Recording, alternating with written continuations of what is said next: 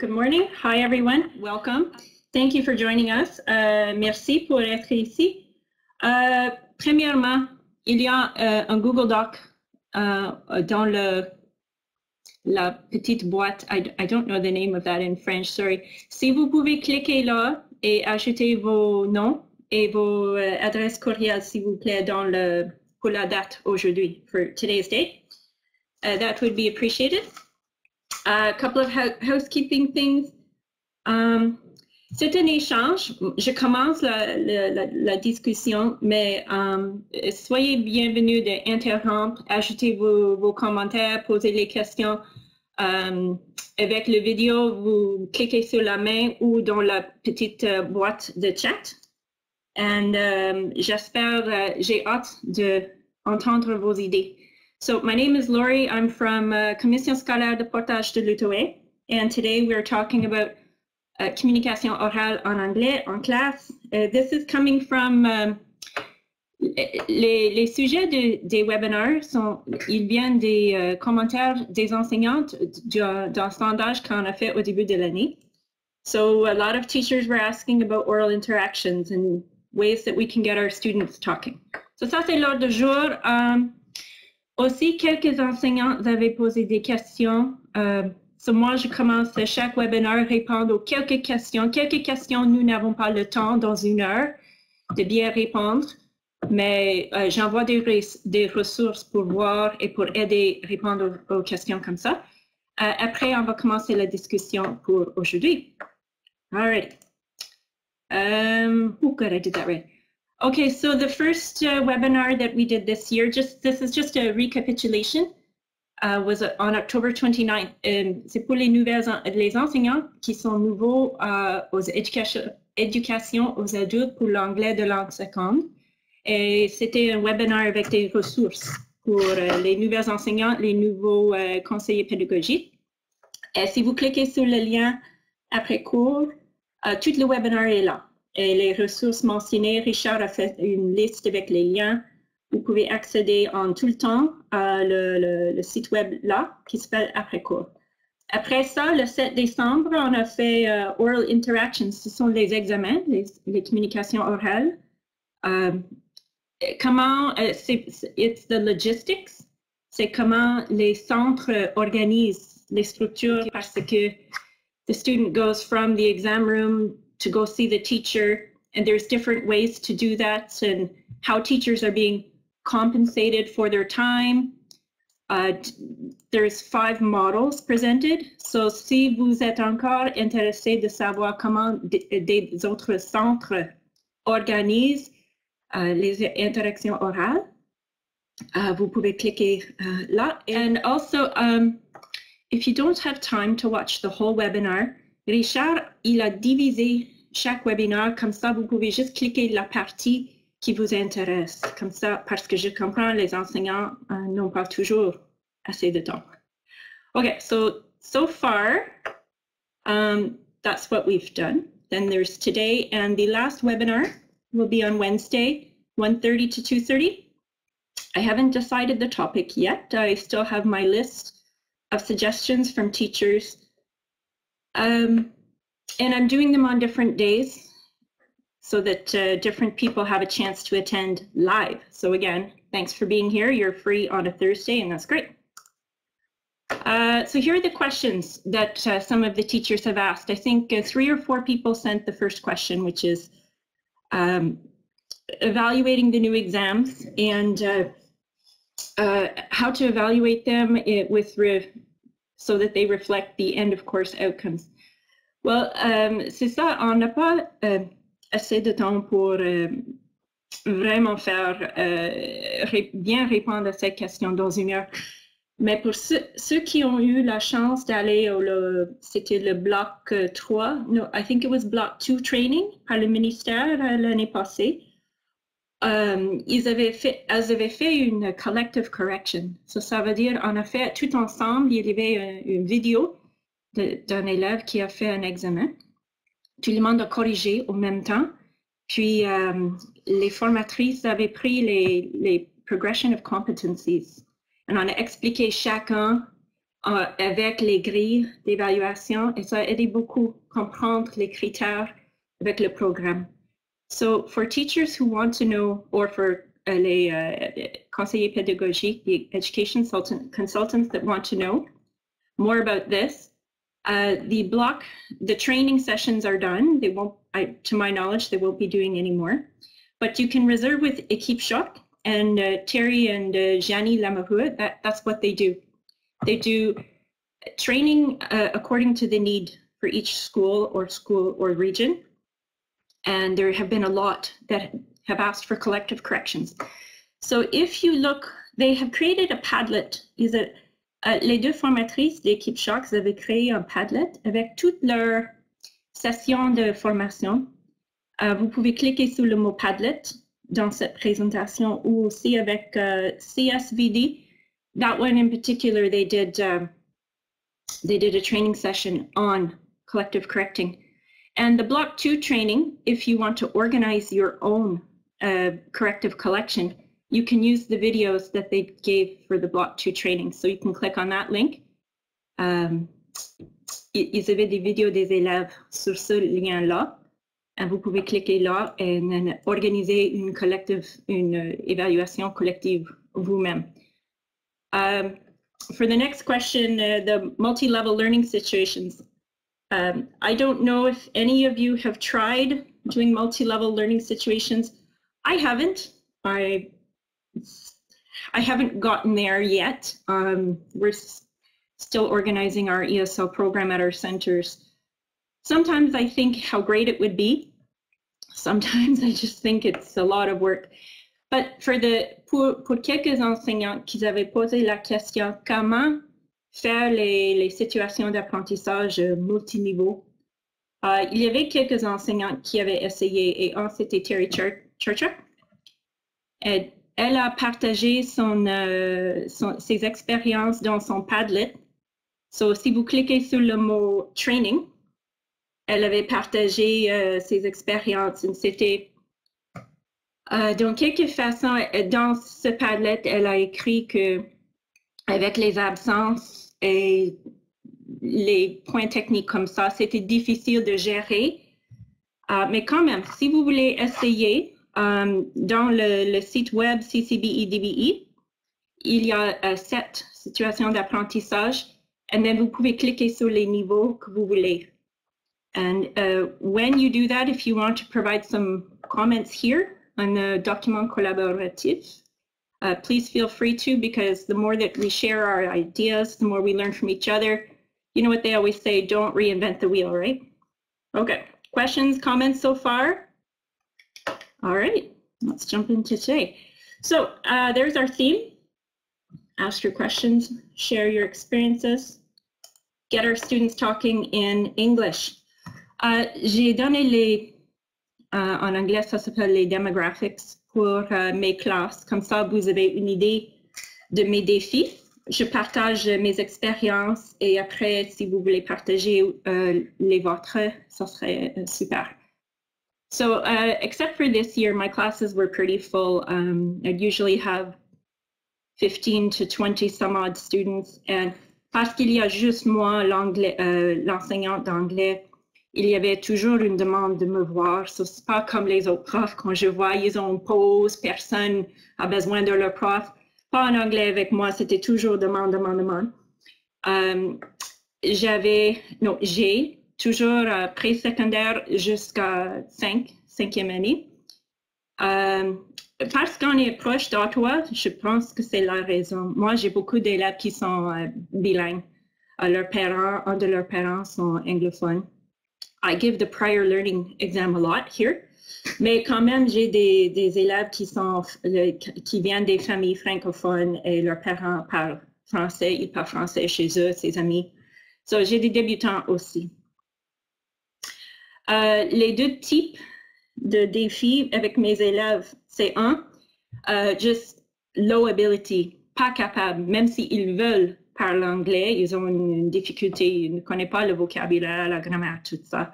Mais j'ai des autres qui ont une capacité, mais qui sont gênés, anxieux, euh, mauvaise expérience avant, l'anxiété, et then il y a quelques élèves qui sont juste, j'ai mis le mot apathétique, ça veut dire ils ne sont pas intéressés de faire leurs études, soit anglais, français, maths. So, il faut leur, il faut utiliser des stratégies pour les avancer dans les cours. So, uh, when I talk about my experiences and my challenges, um, this is the basis of what I'm facing. And I think it's the same for everyone in the province. So I'd like to hear from you if you have a similar a similar genre of students and a similar set of challenges. So when it's your turn, I'd love to hear about that. Uh, so yes, we have the new program.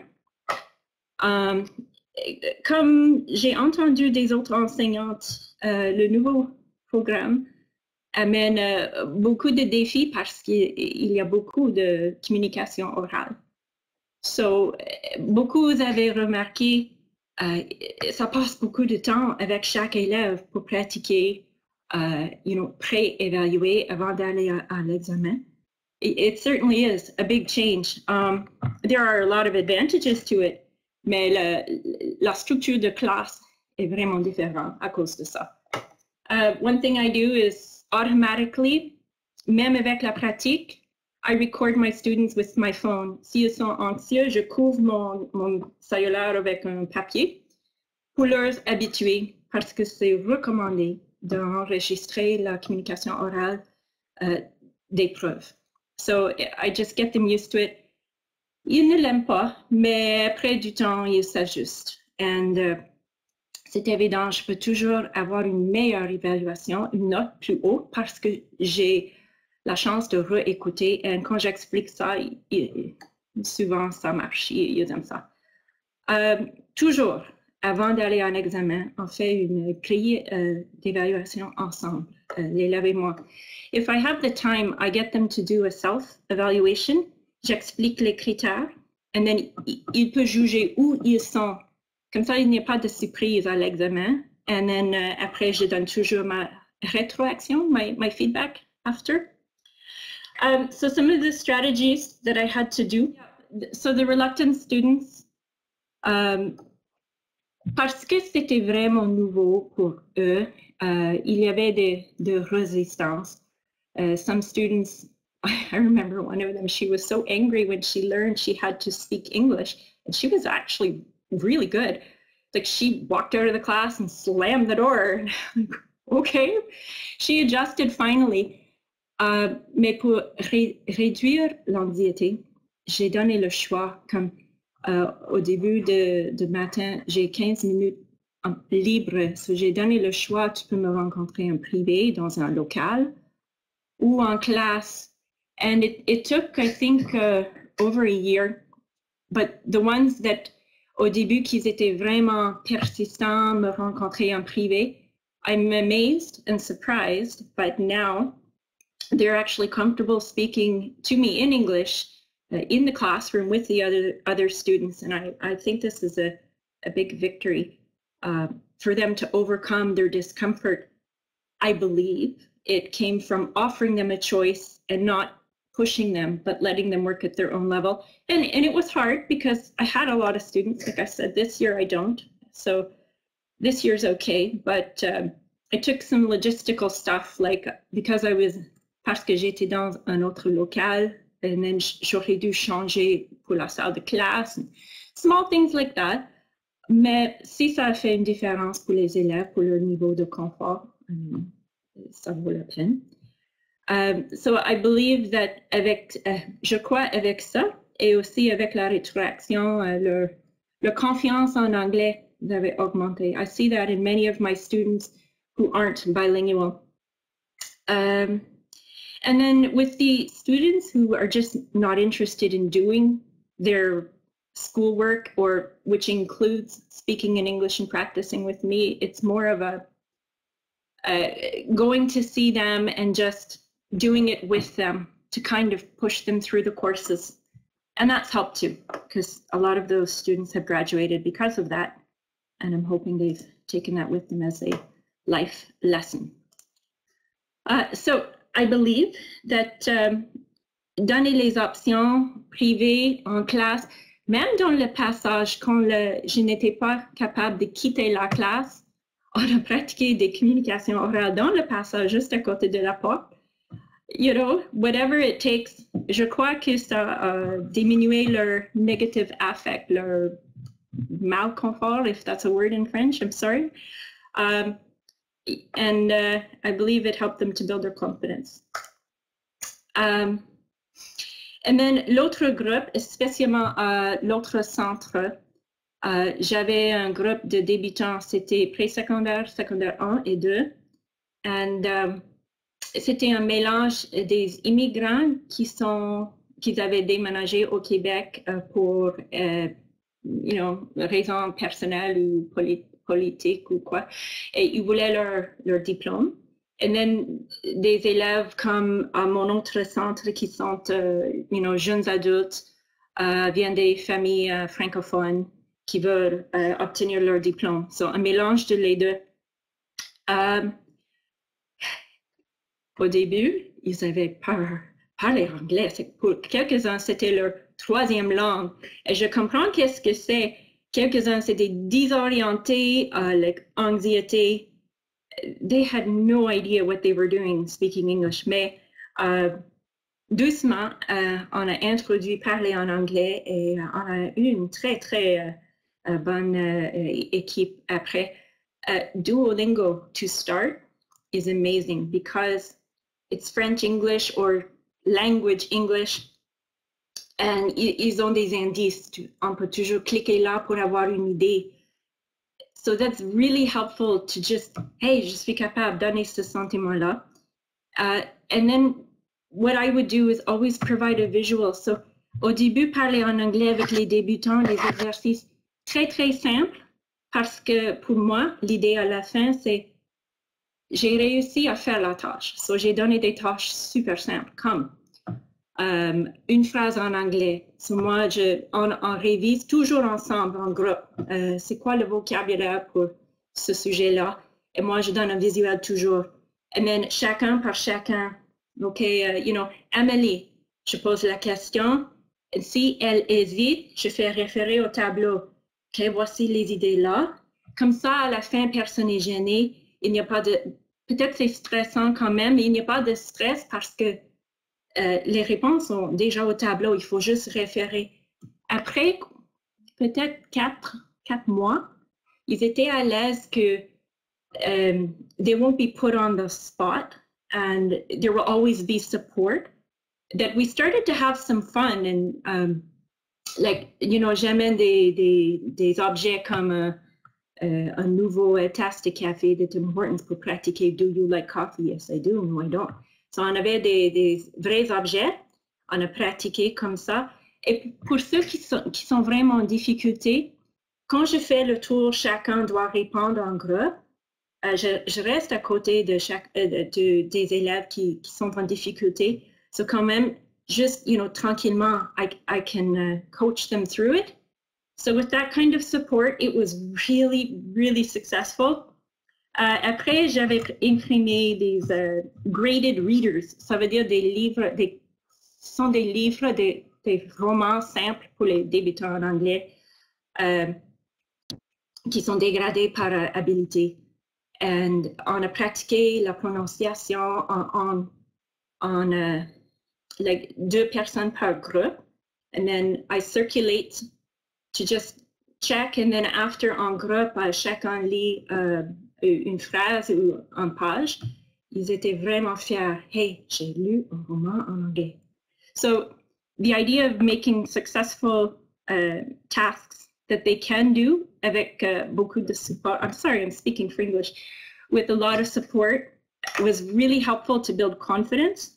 And then after we could build on that and joke around after they had a lot of fun with English and good morning, madam, how are you? And, you know, in the hallway, it, was a lot of fun to see.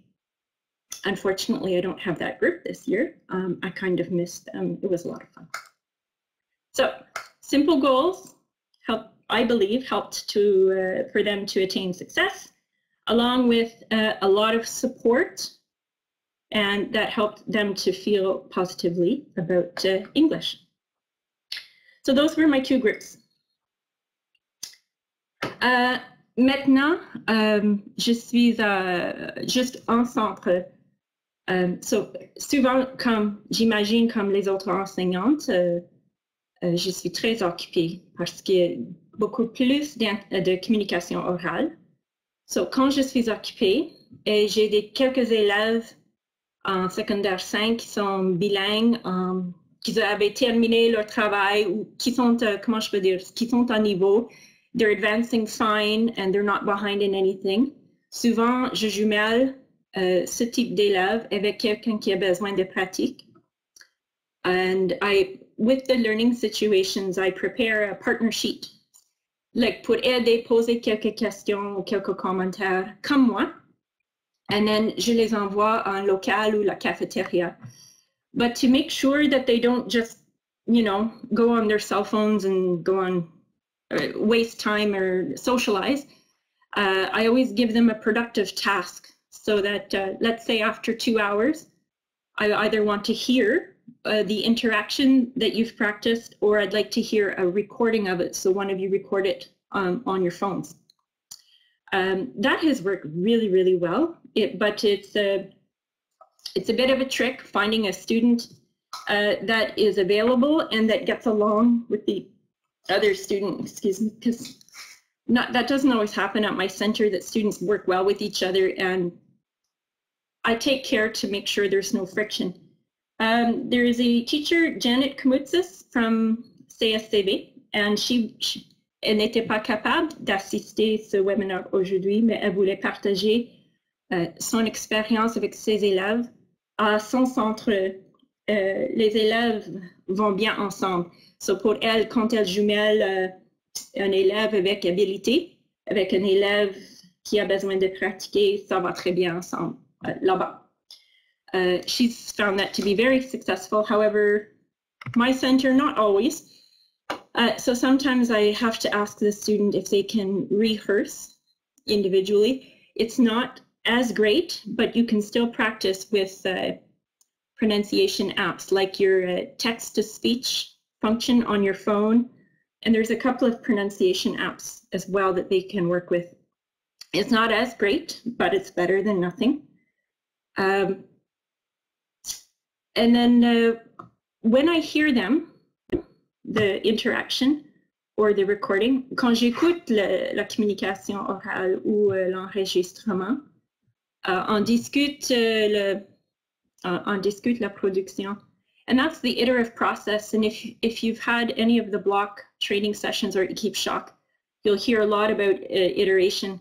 Mais ça aide beaucoup parce que um, tu donnes la responsabilité sur l'élève d'identifier ses forces, ses défis, et then le la refaire pour améliorer juste un ou deux choses qu'ils peuvent.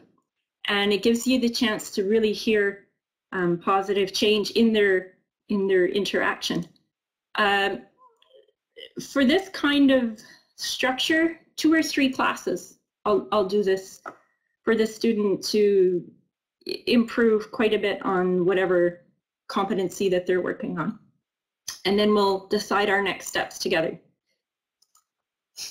Um, so it really helps in terms of the amount of time that I have to pair them with other students. Uh, ok, Un, uh, une session d'équipe choc. Uh, Terry a posé la même question aux membres de cette uh, formation. So, I j'ai copié et collé les commentaires uh, qui viennent du, uh, de cette formation.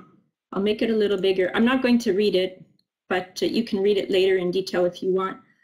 Um, the one in green, la commentaire en, en verte, je connais un autre enseignant qui fait la même chose, qui fait une, activité pas, juste comme une révision, mais des activités pour parler en anglais. Euh, actuellement, je, connais euh, deux.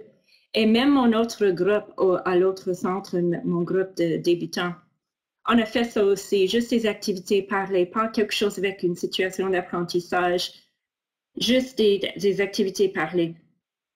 Um, so I think that's always worthwhile. Oui, comme j'ai raconté, ça pourrait, il y aura de la résistance au début. Mais je crois si on donne assez de soutien, euh, assez de structure pour euh, le succès, uh, ça va. And this teacher obviously has had some success, and I believe the other teacher I know that does this similarement, elle a eu du, du succès. Um, so les commentaires, le, la commentaire en rose. Um, oui, prendre les élèves qui sont environ au même niveau et discuter la structure grammaticale ou le, le, l'objectif tout au même temps. That's a great idea. Um, des fois, je l'ai fait, uh, j'ai comme trois élèves qui sont en secondaire 1 et pré-secondaire. Um, et ça me rappelle, oh yes, I should probably just grab all three of them and work on that at the same time. Uh, c'est très bon comme révision. So, si s'il y a des élèves qui, you know, oh, I already know this already, même c'est évident dans leurs leurs travaux qu'ils avaient oublié, on peut toujours juste dire, mais c'est révision. Je sais, vous saviez déjà, mais c'est révision. That, that works fine well, as well. Um, so il y, a, il y a des enseignants qui font des, des, des ateliers. I would be interested in seeing that or uh, seeing how that's done. I think that would be uh, probably worthwhile. Mais comme, comme l'enseignant a dit, uh, ça dépend, dépend, vraiment sur les élèves et leur, habilité et tout ça. Um, so I guess this the other one is uh, working in groups, something like that. Same idea there. Uh, so there's different approaches to get your students talking. See if I can make that shorter. So uh, yeah, let's taco about it. uh, so yeah, um, avant que je laisse le parole à vous, uh, si vous êtes intéressé aux ressources que j'ai fait référer uh, pour l'équipe Shock, leur Padlet est là. And you guys all know already CCBE, DBE website, les, les situations d'apprentissage multiniveau sont là. Aussi, le lien pour la formation, soit le, le, block training qui était donné par l'équipe ministérielle ou équipe Shocks. Le lien est là, mais je l'ai mis uh, uh, en haut aussi. And then um, the website here, après cours, for all of these webinars. So this one, also last year's webinars are there too. And there is always a, um, uh, there's always a, like, we keep notes of everything that was discussed, which I will be doing after this webinar. And that will be available after, so you'll, you have to wait a little bit until I type that up. Uh, so, j'aimerais, oh, donner uh, Euh, une chance à tout le monde pour euh, partager leurs expériences, euh, poser des questions. Donc, ben, moi en classe, par rapport à l'oral, un peu le même principe. J'ai des élèves très anxieux qui ne veulent pas parler en anglais. Donc, c'est beaucoup avec moi. J'utilise aussi la méthode pour qu'ils s'enregistrent eux-mêmes. Ça les permet de, de, pratiquer, de voir s'ils ont les mots-clés suffisants euh, pour savoir s'ils sont prêts à faire l'oral avec moi. Si euh, ça dure une minute ou deux, ils disent Oh, OK, j'ai pas assez travaillé ou j'ai pas assez de matériel. Ça, les, ça les permet de retravailler leur oral. Ça, c'est bien, euh, mais c'est moins une interaction. C'est sûr que c'est moins intéressant comme pratique, mais ça les aide quand même à parler en anglais. Et des fois, ils enregistrent plusieurs fois, mais ça revient toujours à je fais l'interaction avec eux. So we always do it together. Uh, like uh, in the end, uh, the uh, learning situation will determine, um, we'll do it one-on-one -on -one after class or during class, but uh, they don't want to communicate with other students. Uh, thank you, Melissa. I'm sorry, I think I missed the first part. You said that when you meet with your students, it's not an interaction, it's more just to check if they're ready for their exam. Is, is was I understanding correctly? Well, the students, when they're ready with their learning situation, they've prepared their uh, their notes. uh, they'll take uh, the iPad and they'll go practice it on their own. So they record themselves. Uh, they can see how long it lasts. If it's not long enough, they'll add notes. Uh, sometimes they'll record it five times. Uh, so it makes it gives them opportunities to listen to themselves, see if it's okay. If uh, they don't have enough, they rework on, on it. But then after, when we do it together, that's when we do the interaction. But the students do not want to interact together. Yeah, okay, thank you for clarifying. I understand how that's an issue. If if your students don't work well together or don't want to, that's some of yeah i've had that situation um, there it's a tricky solution uh, there have been the odd time where a student is okay in another subject and i've checked with their teacher if i can borrow them to practice for a few minutes but it's exceptional. I understand your point about uh, practicing on their own is helpful but it's not the same as an interaction. The other thing i wanted to say was um, yeah, I too, when I can, I make them listen to to the recording so that they can evaluate their own uh, their own performance. So that was a really good point. If anyone, si quelqu'un a des, des idées pour euh, les élèves qui ne travaillent pas bien ensemble, on aimerait avoir vos suggestions. Thank you, Melissa. Uh, good morning, Mylène. Thank you for joining us and putting in your, your comments. Apparently she's having some computer problems. I'll I'll read it out to you. Um, if someone can help me here, one teacher she's talking about has a lot of RA workshops. I'm not sure what RA is. Uh, I'm trying to guess here if anybody knows. Reading, okay, thank you. Reading apprenticeship. Um, I'm not familiar with that. Maybe you could elaborate a little bit. Explicit teaching. Okay, great. It's like you read my mind. Thank you. Uh, explicit re, uh, teaching reading. Okay, that's really interesting. Uh, so, uh, cet enseignant ou enseignante, um, chaque période, uh, cet enseignant uh, enseigne explicitement la lecture. C'est comment elle fait les, les uh, situations d'apprentissage de multiniveau. And another one, oh, that should be, oh, I remember that. Okay. Euh, si jamais on, on a enseigné euh, en groupe, c'est l'utilisation des images pour euh, écrire, écrire des phrases, lire à l'image et lire, lire à haute voix. And then they look at vocabulary and the students are asked to react. I'm not sure we record practices though, the rest is pretty much what you mentioned. Yes, okay, thank you very much, Milan. Um, if everybody is reading what she wrote there. So again, it's pour, pour pratiquer parler en anglais, les enseignants qu'elles connaissent, um, c'est plus comme des activités, juste pour faciliter. So maybe this is something if students don't work well uh, in pairs for learning situations, to do a group thing and, and make it fun, like the teacher uses uh, funny images uh, maybe that's an option for those of us that can't get our, our students to work well together.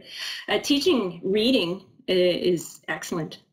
Um, you know, as we all know, it's a skill that the students will need and explicit instruction is extremely helpful. So those sound like great ideas. Thank you very much. Oh, okay, so that sounds exciting. Um, a link on uh, reading apprenticeship ça serait vraiment euh, super si on peut voir euh, ce lien. S'il y a des autres gens qui veulent partager. OK, c'est une autre suggestion. Euh, merci Jean, c'est gentil. juste une autre activité quand il fait la présence, de juste répondre en anglais avec une raison et avec des restrictions on, ne peut pas juste copier-coller les mots de quelqu'un d'autre. Euh, euh, activité interactive. Thank you. So coming back to the reading apprenticeship, yes, if somebody does find that uh, link, we would love to see it.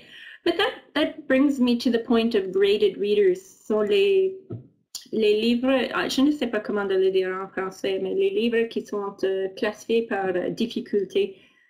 If anybody knows of some graded readers that are appropriate for adult learners, I would I would love to hear about that because uh, j'aimerais avoir tellement euh, une collection. Et mes élèves me demandent, ils aiment lire en anglais quelques-uns, pas tout le monde. Euh, mais euh, comme vous comprenez, un élève qui est à, you know, secondaire 1 n'est pas capable de lire Harry Potter en anglais.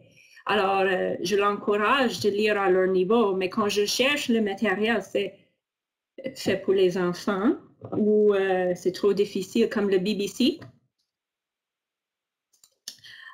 So Sylvie's question, and just uh, made another comment. We'll get to that in a second.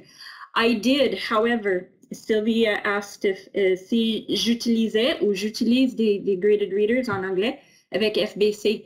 Oui, je l'ai fait, mais euh, j'avais une. Euh, j'ai été abonné à Reading Rockets, um, mais c'est pour l'anglais langue seconde pour les enfants à mon ancienne école. J'avais encore quelques échantillons. Et j'ai pris les livres qui étaient faits pour euh, sur les animaux, sur le travail. Il y avait quelques échantillons, euh, sorry, quelques livres euh, qui ne sont pas faits vraiment pour les enfants. So, j'ai, oui, j'ai imprimé les livres là parce que le vocabulaire était limité, les phrases étaient simples. Et quand je parlais de l'instruction en groupe et lire à haute voix, uh, les livres, those were the books that I was using. It's called Reading Rockets. It's, it's a lovely website. Ça vient avec des guides pour les enseignantes, avec, uh, c'est vraiment, tu dois juste ouvrir le document et te préparer. Mais comme j'ai dit, c'est pour les enfants. Et aussi, il y a un frais. Uh, euh, mon école à ce temps-là a payé pour le frais et, ça, ça, coûte assez cher. I mean, c'est un bon programme. Et aussi, l'élève est capable d'accéder le roman en ligne. Comme ça, ils peuvent écouter en lisant en même temps. C'est vraiment super. Mais comme j'ai dit, je cherche quelqu'un pour les adultes et quelqu'un, you know. Oh, uh, thank you. A, graded reader, c'est les, OK, so comme uh, par exemple, avec Reading Rocket, c'est euh, niveau A. C'est vraiment I am a girl, I walk to school. c'est vraiment simple, mais comme niveau G, un peu plus avancé, niveau Z, le texte est plus riche, euh, structure de phrases un peu plus développée. Mais c'est comme, ils sont faits pour chaque niveau de, l'élève. Il n'y a pas juste uh, Reading Rockets, there's also uh, Scholastic avait préparé quelque chose comme ça. Um, des autres maisons d'édition. Mais comme j'ai dit, comme, comme, vous saviez, j'imagine, um, l'enseignement de langue seconde pour les adultes, il n'y a pas beaucoup de matériel comme pour les enfants. So it's just a little bit more difficult. Uh, vous pouvez en Google mettre BBC Graded Readers et ils vont vous donner des exemples. Mais leur niveau 1, même c'est trop difficile pour mon secondaire 3. Uh, mais c'est gratuit. Et quelques livres avec le BBC, uh, vous pouvez écouter et lire en même temps, mais comme j'ai dit, c'est pas assez débutant. Okay, so uh, I think Sylvie found the videos. So if you're interested in reading apprenticeship, thank you, Sylvie. You can click on those links. I'll go back to uh, Milen's comment. Elle a dit qu'un de ses enseignantes utilise euh, des codes couleurs avec les grilles. Comme ça, euh, euh, les élèves peuvent voir le progrès en même temps. Uh, thank you for that. I know another teacher that um, elle souligne toujours la, colonne good comme ça, parce que, comme Mylène a mentionné, ça pourrait que les élèves sont un peu débordés avec les grilles quand tu fais une auto-évaluation. So, uh, uh, une enseignante, elle, souligne seulement le good, la colonne good, Euh, comme ça, il faut juste lire ça et juger est-ce que je suis euh, plus haut que good ou plus bas? And it, it helps the student to understand. Moi, j'explique critère par critère. C'est long. Euh, peut-être je peux adapter une autre idée pour, faire les, évaluations un peu plus vite. So thank you, Milan, for that. All right. Okay. Um, pour euh, la lecture, euh, j'ai euh, des livres. Je vais ouvrir ma caméra pour vous montrer. je ne sais pas si ça va fonctionner. Donc, c'est Penguin Readers, puis là, c'est Rain Man, Forrest Gump. C'est 32 pages. C'est ceux-là, c'est des niveaux 3. Donc, si vous regardez euh, euh, derrière, vous avez des, niveaux différents pour euh, le nombre de mots par roman. Donc, ce n'est pas, pas des énormes livres. Comme je vous disais, ça a 32 pages. C'est un film très, très résumé. Puis, les élèves, j'en ai plusieurs que même ça, c'était exigeant, ils trouvaient que c'était trop long. Donc, moi, ce que j'ai fait, c'est que j'ai pris euh, le livre, par exemple Rain Man, je l'ai lu. J'ai lu chacun des chapitres, je me suis enregistrée pour qu'ils puissent le lire avec moi. Puis, euh, à ce moment-là, ils entendent la prononciation, ils peuvent faire du shadowing, euh, essayer de prononcer de la même façon.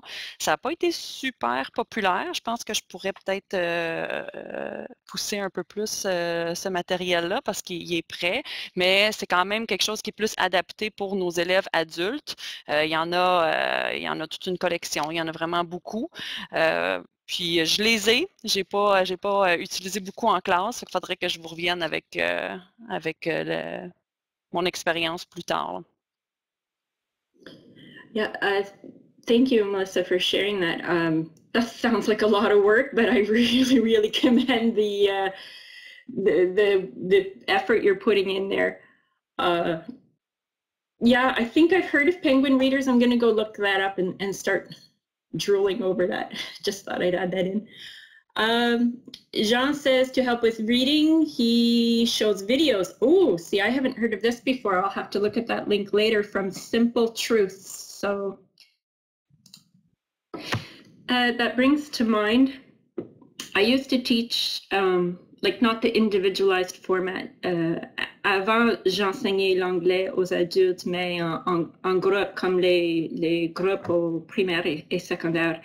Et euh, le lien de Jean me, rappelle, euh, je faisais beaucoup de read aloud. Ça veut dire, euh, on a eu une collection d'iPad et l'élève pour pratiquer la prononciation et prendre son livre ou son texte et il faut euh, enregistrer en lisant.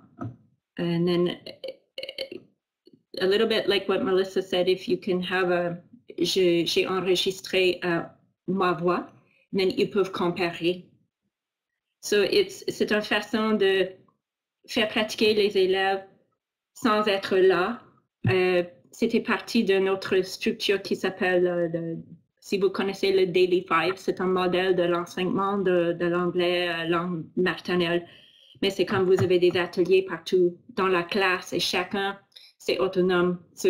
ils s'enseignent avec une pratique, il faut les montrer avant. Mais comme ça, euh, l'enseignant peut travailler avec euh, des élèves par habilité sur une capacité spécifique. chaque fois qu'ils peuvent entendre leur voix et leur I don't know how to say self-awareness in uh, in French, mais ça aide à être conscient. Oh, wow, je n'avais aucune idée, je, je, disais ça.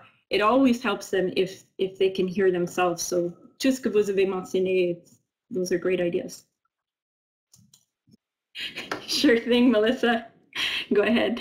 May I? Thanks. No, it's because at the beginning uh, you said that you had quite a few um, bilingual students and you use the prior learning a lot. Yeah. Um, I was just wondering, uh, not about the exam. I know that uh, we use it again this year um, while we're waiting for the new one, but um, I was trying to uh, convince the uh, principal here to be able to use the prior learning as uh, to go and get the uh, the extra um, secondary five enriched optional credits. Do you use it in that way? Yes. I know it's really off topic. I'm sorry. Well, uh, yeah, this is what I would say. The uh, these these webinars are here for us to exchange ideas. So if this is the idea you want to talk about, that's great. And thanks for mentioning it. And it's like I was saying, instead of all of us reinventing the wheel, it's nice to know what other schools are doing. We can get ideas. So no, this is a great place to communicate. So thank you, because you're certainly not the only one asking that question.